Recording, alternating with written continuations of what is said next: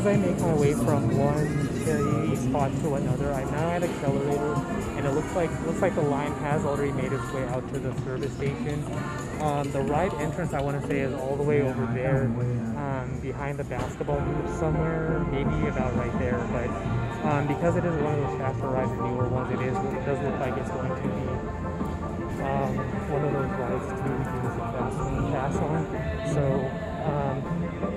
am going to try and hop from shady spot to shady spot. Um, and that may, brings us to the next um, bit of uh, throwback as far as pictures go. So I'm going to try and get Supreme Scream with the K.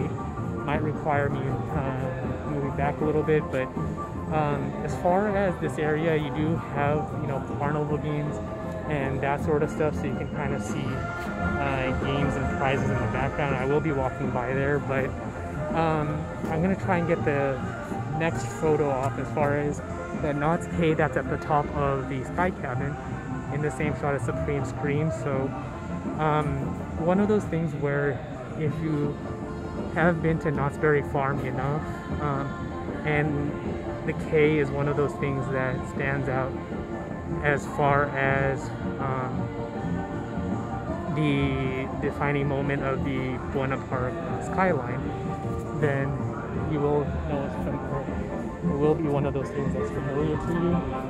Um, so maybe at some point I will try and get the um, sky cabin K um, in the middle of the um, Hang Time roller coaster. And if you do remember, you know, back in the old days of uh, Knott's Berry Farm, there was a ride called Soapbox Racers. So another, or I guess they have two um, classic photo op spots next to each other with the Knott's Berry Farm K and Soapbox Racer.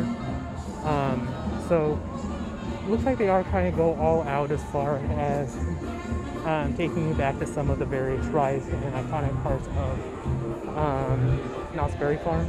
And you do have um, some boardwalk games here, um, a lot of rides and uh, hit whack-a-mole and stuff like that. So with that, I'm gonna make my way into Fiesta Village.